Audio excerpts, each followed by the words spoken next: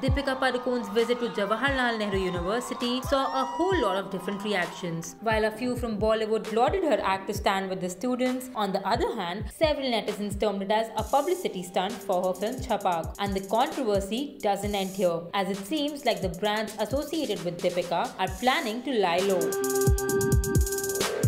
Yes, you heard that right. According to Economic Times, some brands associated with Deepika have stated that they will be reducing the visibility of ads featuring her in the short term. Moreover, celebrity managers feel that this move of the Padmavat actress could see an inclusion of a clause regarding celebrities taking a political stand. After her visit to JNU, there was also a call to ban Deepika's latest release, Chhapaak.